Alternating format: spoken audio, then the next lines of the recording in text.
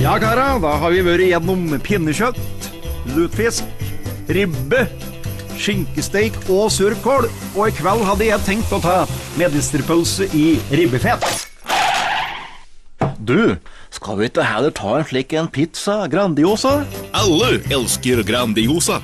Vi liker fordi den har mest fyll, og på rundt av den uforlignelige milde Grandiosa-smaken. En eller?